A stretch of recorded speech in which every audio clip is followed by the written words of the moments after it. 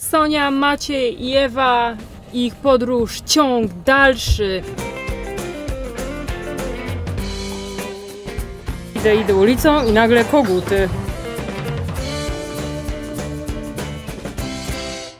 Za nami Corpus Christi. Jak wam się podobało w Corpus Christi? Najlepsze miasto na ziemi. A tak serio, no spoko. Na taką Wielkanoc fajnie. W poprzednim vlogu trochę pokazałam z Corpus Christi, ale nie za wiele, bo my wczoraj tu przede wszystkim mieliśmy taki dzień na odpoczynek, na naładowanie baterii na kolejną część naszej podróży. I raczej nie polecamy tego, żeby tu jakoś specjalnie jechać, żeby to był jakiś wasz punkt na mapie. My planując już tą podróż wiedzieliśmy, że tu sobie zajedziemy, bo po prostu wychodziło, że będziemy tutaj w święta, kiedy pewnie w większości miast dużo rzeczy było zamkniętych i to było dla nas fajne, żeby tu po prostu spędzić taki dzień na chillu. Wsiadamy w auto i jedziemy do San Antonio z małym przystankiem po drodze. Nadal jesteśmy w Teksasie. E, Zapłaciliśmy 40 dolarów za zatankowanie do pełna. Jakieś 12 galonów. 3,20 kosztuje tutaj galon.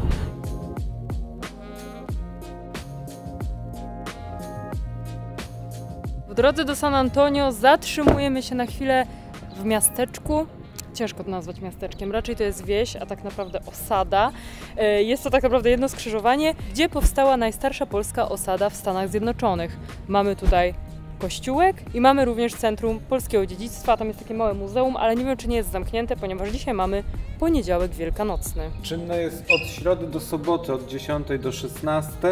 Także dziś nie wejdziemy, ale jak coś, to 10 dolarów kosztuje wejście. My tutaj zatrzymaliśmy się tak naprawdę tylko na chwilę po prostu w drodze do San Antonio. Raczej to nie jest jakieś znane turystyczne miejsce, ale oczywiście jeżeli będziecie gdzieś w okolicy, to możecie tutaj zajechać. Cała ta historia zaczęła się od księdza Leopolda Moczy Gęby, który robił w pewnym momencie, czy tak można w ogóle powiedzieć, no karierę w strukturach kościelnych. E, Był chyba we Francji, był w Niemczech i później wyjechał do Stanów. Tutaj kupił właśnie ziemię i w 1854 roku dojechały do niego osoby z Górnego Śląska. Na początku przyjechało tutaj 150 osób, jakieś osoby, które ksiądz znał, czy to byli jacyś sąsiedzi, znajomi, znajomych, też chyba dwójka jego braci tutaj przyjechała. Oczywiście droga tutaj była bardzo ciężka, zajęła wiele tygodni, E, no ale w końcu tutaj dojechali i takim symbolicznym momentem założenia tej osady była msza święta, którą ksiądz odprawił dla tych nowo przybyłych w Wigilię. Zaczęli budować tutaj dla siebie domki i tak dalej i tutaj coraz więcej osób przyjeżdżało. Niestety zastały ich bardzo ciężkie warunki. Uciekli od tego, co się działo w Europie, a tutaj zaczęła się wojna secesyjna. No i generalnie też były bardzo ciężkie warunki do życia, ponieważ były straszne susze. I tak naprawdę musieli się modlić o każdą kroplę deszczu. E, No a do tego choroby, e, do tego jadowite węże i generalnie wiele przeciwności, które sprawiło, że niestety tutaj ta społeczność e, malała, ludzie umierali. Ostatecznie też ksiądz uciekł, wyjechał stąd, ponieważ bał się, że zostanie osądzony. Ludzie niestety tutaj bardzo mieli głównie e, właśnie do księdza pretensje o to, jakie życie tutaj e, zaznali, bo jednak przyjechali po coś całkiem innego. Z tego co czytałam, to ksiądz Moczy Gęba wyjechał gdzieś tam w tereny Nowego Jorku, gdzie też się poświęcił dla polskiej społeczności, założył szkołę i tak dalej, i tak dalej, ale już żył tam, ale tutaj ludzie mieszkali nadal. No i nadal są oczywiście e, potomkowie osób, które mieszkały tutaj. Oni wtedy mówili po polsku i też e, mówili, że są z Polski, jak gdzieś w dokumentach zapisywali, to mówili, że są z Polski, aczkolwiek wtedy Polski jako takiej na mapie e, nie było. Tu mamy tak naprawdę, widzicie, tu jest ten kościółek, tam jest w ogóle jakaś pilarczyk Panna Maria Historical So- Society, tam jest chyba jakiś taki sklepik, coś takiego z pamiątkami, ale też najprawdopodobniej teraz zamknięty. Cisza, spokój, w ogóle jak tu jechaliśmy, to tak naprawdę są co jakiś czas jakieś tylko motele, jakieś sieciówki, głównie wielkie po prostu tereny, na których są pola. No i tu nagle polska osada w centrum tego wszystkiego. Właśnie zastanawiamy z Ewą, ile osób tu mieszka, ale tu jest, no, jest na Wikipedii informacja populacja rok 2000, no to liczba ludności 96 osób. No to no teraz może być jeszcze mniej, nie? Pan Pilarczyk, albo pani Pilarczyk, albo państwo Pilarczyk, panna Maria Historical Society i tu jest nawet napisane Polish Pottery sold here, więc możliwe, że tam jest sprzedawany Bolesławiec. Jak wszędzie zresztą, gdzie pojedziemy i są jakieś takie polskie sklepy. Tylko też teraz jest zamknięte, zresztą w ogóle w poniedziałki jest zamknięte, a dzisiaj jest w ogóle poniedziałek wielkanocny. Nadal żyją oczywiście osoby, które znały lub są oczywiście potomkami Polaków, którzy wtedy przyjechali tutaj na tę ziemię i nie mieli tu, tak jak mówiłam, łatwego życia. Generalnie wtedy mało kto miał łatwe życie, patrząc na to wszystko, co się działo. Po drodze do San Antonio, jeżeli będziecie w okolicy, to czemu nie? jest to również nasza historia. Jesteśmy w San Antonio i jesteśmy bardzo głodni, więc idziemy do knajpy, knajpy meksykańskiej. W ogóle tutaj w San Antonio 50% mieszkańców to są latynosi, chyba głównie właśnie osoby pochodzące z Meksyku. Więc zaraz wjadą jakieś takosiki albo jakieś fajitas. Maciek coś tam jadł, a my rano wypiliśmy tylko kawę i ruszyliśmy w drogę, więc cieszę się na jedzonko. Patrzcie, jaki tu wszędzie Mexico style. My właśnie byliśmy w tej meksykańskiej restauracji, Maciek oczywiście tam nagrywał. Tu jakieś są sklepy, pawilony, ale chyba dużo jest rzeczy zamkniętych jeszcze. Ale fajnie tutaj, tylko troszkę zaczął padać deszcz. San Antonio to jedno z najbardziej turystycznych, jak nie najbardziej turystyczne miasto Teksasu, a jest również znane ze względu na tutaj ważną atrakcję, można powiedzieć turystyczną, ale przede wszystkim na miejsce o bardzo dużej wartości historycznej, czyli o Alamo. E, Był to kompleks budynków, który został przebudowany przez Hiszpanów na twierdzę i tutaj doszło do krwawej e, bitwy o Alamo, e, która na zawsze wpisała się w historię Teksasu i w historię Stanów Zjednoczonych. Byliśmy tam na terenie tego kompleksu, gdzie po prostu jest jakieś dużo tablic informacyjnych i tak dalej, jest też wejście do kościoła. Zaczęliśmy nagrywać i nagle podszedł do nas pan z wizytówką, z dwoma paniami obok, które trzymały jakieś dokumenciki i zapytali się, kim my jesteśmy, co tutaj robimy i tak dalej. Rzadko nam się to zdarza, praktycznie w ogóle. Wiadomo, czasem ktoś nam może zabronić nagrywać, nie jak weszło komuś do prywatnego sklepu i zaczęła coś nagrywać, choć zwykle tam się zapytam, czy, czy coś takiego. A tutaj nagle e, doszło do e, sytuacji, że nie mogliśmy nagrywać, ale nie tak, że w ogóle kompletnie nie mogliśmy, tylko uwaga, pan powiedział, że możemy nagrywać, ale musiałabym im to wysłać do akceptacji.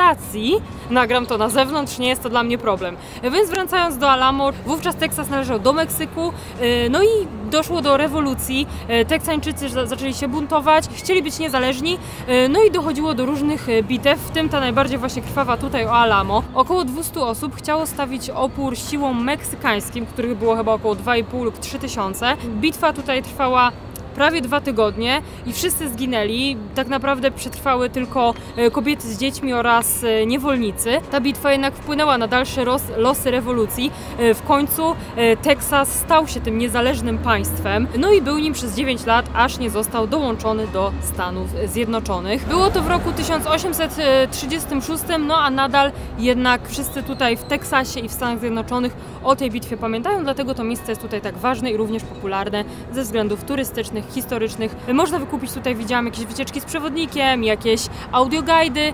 My tego nie robimy, ale mówię, że takie opcje są, kosztują 10, 20, 30 dolarów, w zależności oczywiście od opcji, jaką wybierzecie. Dotarliśmy do naszego hoteliku w San Antonio, będziemy tu tylko jedną noc. Tu jest nasz pokoik, no taki przyjemny. Dwa łóżeczka, telewizor, tam jest łazienka. No i tak to wygląda. Chwila odpoczynku i idziemy zobaczyć, co tu jeszcze można robić w tym San Antonio, co? No by trzeba było. Wyszliśmy w miasto! San Antonio! I oczywiście najbardziej znana atrakcja San Antonio, czyli Riverwalk. Są tu knajpki, kawiarnie, można się też przepłynąć takim tutaj czymś. Tutaj jest mapka Riverwalk, po której będziemy zaraz spacerować. I on ma 3,5 mili aż, co daje prawie 6 kilometrów.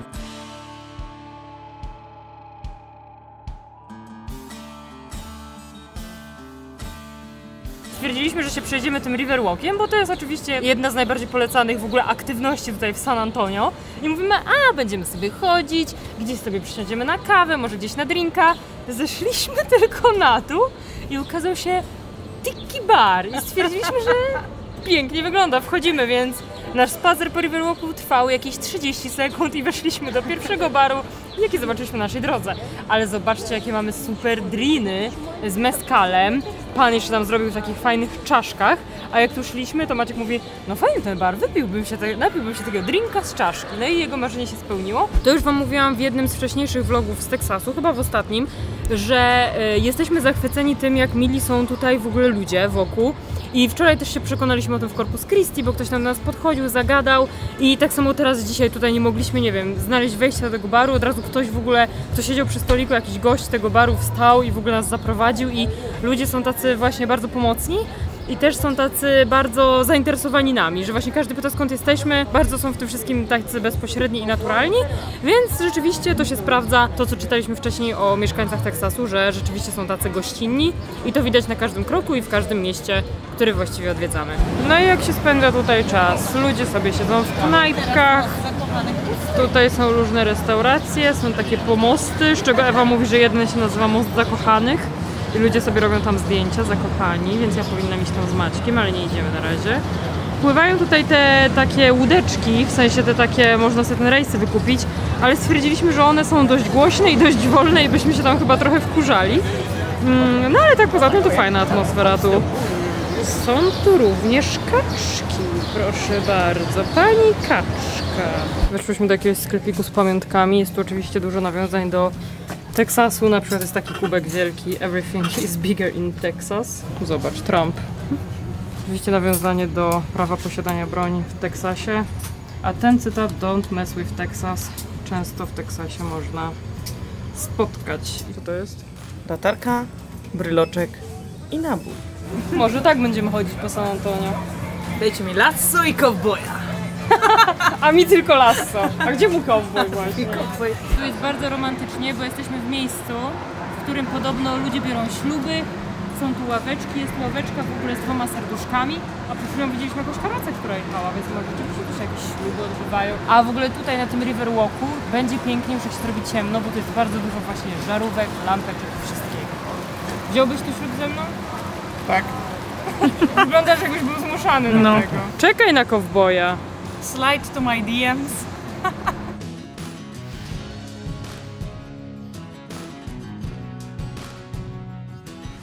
Wiem, że to wygląda tak, jakbyśmy tylko tu siedzieli, jedli i pili dzisiaj w San Antonio, ale no trochę pochodziliśmy sobie tutaj wzdłuż tej rzeki e, przy River Walku, zrobiliśmy sobie walk przy River, jak sama nazwa wskazuje. No a teraz usiedliśmy na jedzenie, ja nie o jedzeniu oczywiście, ale chcę Wam powiedzieć o koktajlu. Jest to koktajl z mezcalem do Sombres. Jest to marka, która należy do Briana Cranstona i Orona Pola, czyli aktorów, którzy grali w Breaking Bad, a ja bardzo lubię Breaking Bad.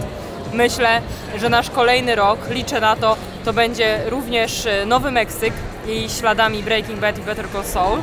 Oni go bardzo fajnie promują i też mają na Instagramie swoją, właśnie swoją markę, swój profil, mają tam super sesje zdjęciowe i w ogóle e, czasem robią jakieś live'y, jak robią koktajle, więc jak ja zobaczyłam tutaj już w Miami widziałam takiego drinka z tym mezcalem, to stwierdziłam, że właśnie jako fanka Breaking Bad tych aktorów muszę spróbować. My byliśmy na jedzonku, tu już wszystko nad rzeką jest bardzo ładnie oświetlone, choć tak naprawdę tych lampek tutaj nad nami jest więcej, ale wyczytaliśmy, że one są odpalane na święta Bożego Narodzenia i w ogóle w tym okresie świątecznym. E, Ja się z Wami żegnam na razie, na chwilkę, na parę sekund dla Was, ale widzimy się jutro, bo jutro jedziemy szukać klimatu Teksasu trochę poza tymi dużymi miastami. Będziemy uderzać w jakieś małe mieściny, w jakieś wsie, więc mam nadzieję, że będzie fajnie. Mamy już kolejny dzień i wymeldowujemy się z hotelu i czekamy na nasze auto, bo najczęściej w tych hotelach jest tak, że jest tutaj taki parking wale. Zabierają nam auto i je przywożą.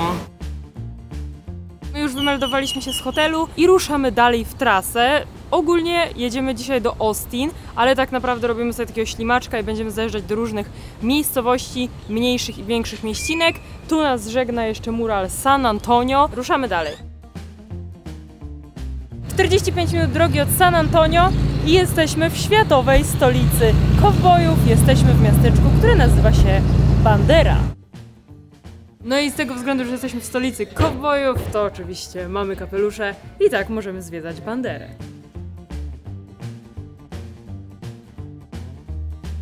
A tu jeszcze hasło z czasów rewolucyjnych Come and Take It, które podobno tu na zawsze już się wpisało w duszę Teksasu, które mniej więcej można tłumaczyć jako takie spróbujcie, spróbujcie nam to zabrać. Na przykład często jest to y, w kontekście posiadania prawa do posiadania broni. Tutaj to hasło pada, czyli come and take it.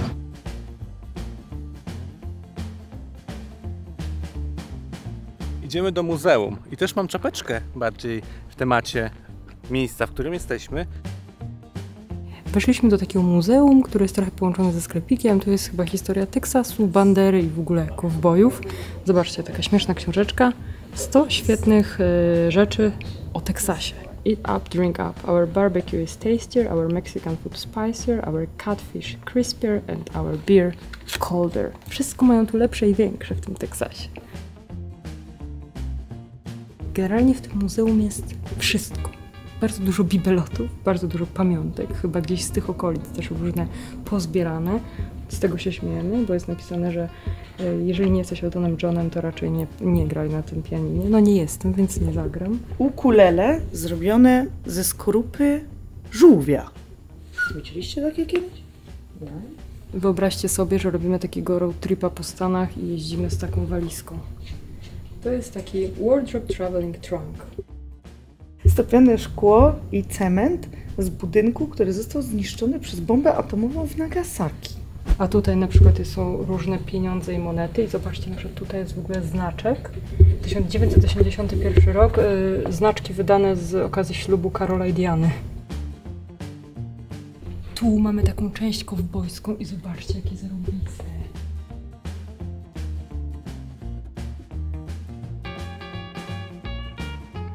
Tu oczywiście są siodła i różne rzeczy, które były używane w czasie rodeo. Myślę, że rodeo to jest taka rzecz, która no jest tak specyficzna. Dużo jest takich rzeczy, których chyba my, Polacy, Europejczycy, nie do końca rozumiemy, jeżeli chodzi o Teksas, Teksańczyków, ale wiele rzeczy, no oni się z tym rodzą i tak naprawdę dla nich to jest ich kultura, na przykład rodeo, a dla nas to jest coś takiego niepojętego i sama jestem ciekawa, jak bym się czuła będąc na takim rodeo. Tutaj do Bandery też przyjechali Polacy z Górnego Śląska i też pomagał im ksiądz Moczy Gęba. I tu na przykład jest kościół, pod którym będziemy. To jest właśnie kościół, który też polski kościół, który tu powstał, polska parafia. A tu wymowa. Jojej, ślunzok staksasłe. Więc tutaj Polacy też swój ślad zostawili. A tu jest y, nawet jakaś taka piosenka, wiersz właśnie o Śląsku. Tu jest mała historia właśnie kowbojów w Banderze. Y, Jeżeli chodzi o rodeo, to pierwsze lokalne rodeo, rodeo odbyło się w latach 20. Tu jest pokazany szlak.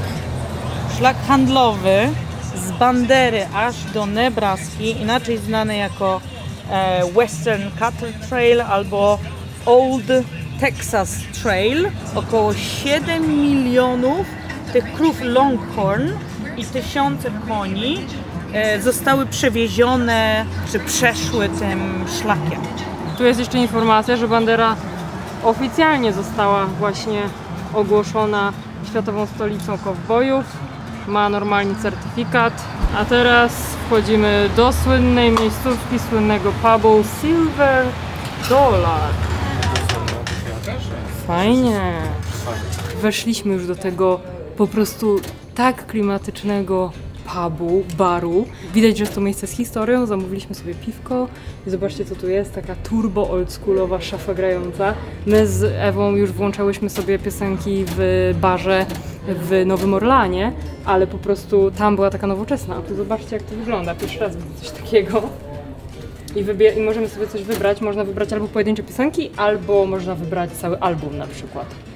Dobra, puszczamy płytę Williego Nelsona, który jest gwiazdą country. Wkładam 5 dolarów.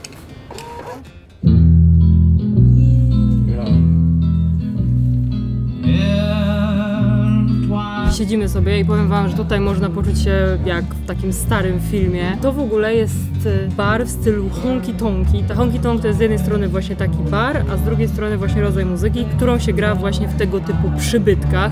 Tu codziennie wieczorem jest muzyka na żywo.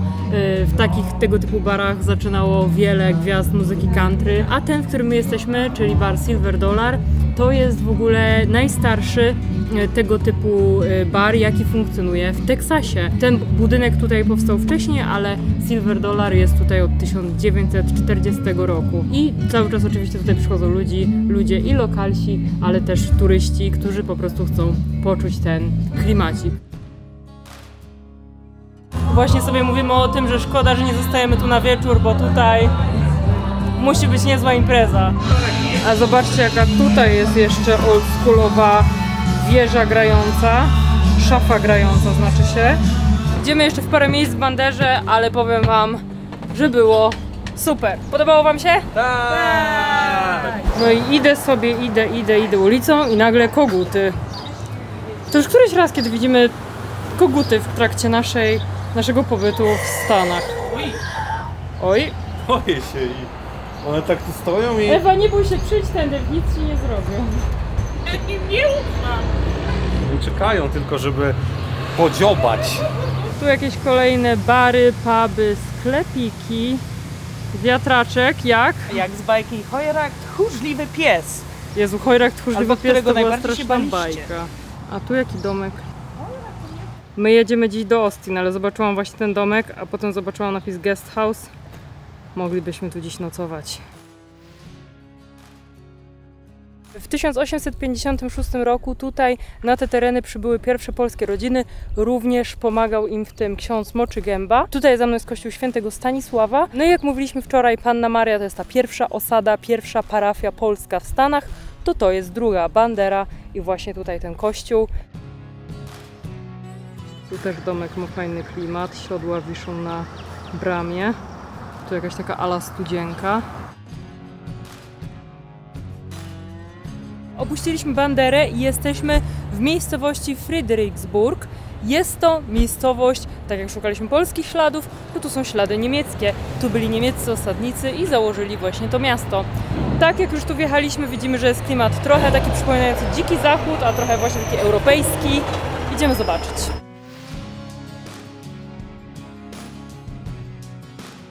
Tu bardziej turystycznie e, niż w Banderze. Bandera jednak takie ciche miasteczko, a tu dużo jakichś knajpek, sklepików z, pamię- z pamiątkami, dużo w ogóle rzeczy nastawionych na alkohol i na degustację alkoholu, ponieważ tu w ogóle wokół też jest dużo winnic i normalnie też można przyjść na jakieś degustacje wina, też jakieś są destylarnie, jakieś widziałam degustacje whisky. Tutaj czuć właśnie ten teksański klimat, trochę westernowy. Jakie tu atrakcje? Tu wine tasting, tam brewery, generalnie bardzo dużo sklepów też z ubraniami, z pamiątkami.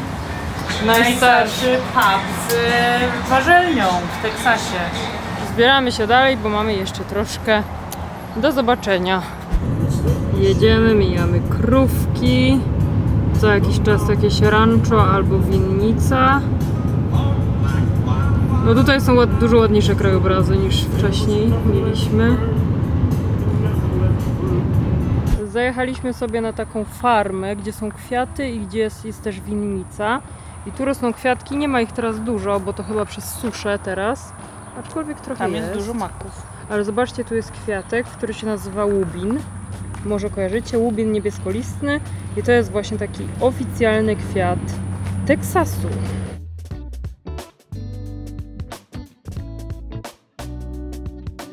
To miejsce poza polami kwiatowymi, poza winnicą, degustacją wina, na jaką można się zapisać, to też przede wszystkim giełda kwiatowa. Można kupić bardzo, bardzo dużo kwiatów. Tu na przykład są róże. Marzenie na przyszłość, kolekcja wszystkich tablic rejestracyjnych z różnych stanów.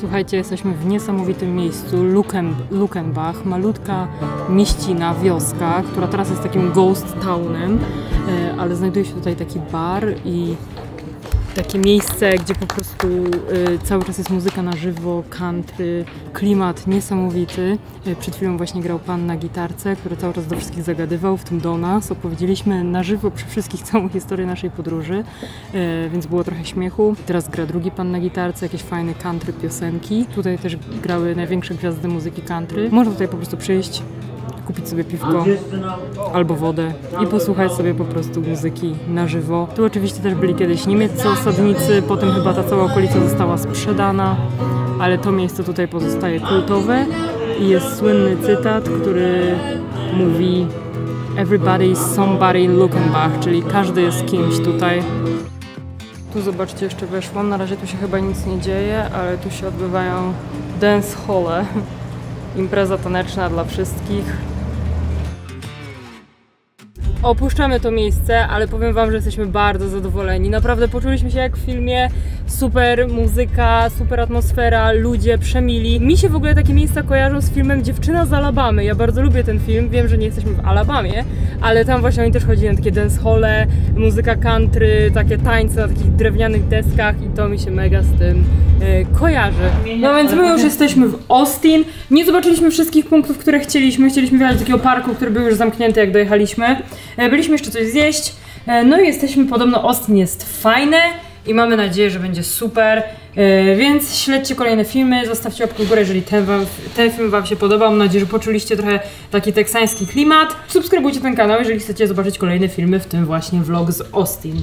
To się żegnamy. pa! pa. Pa!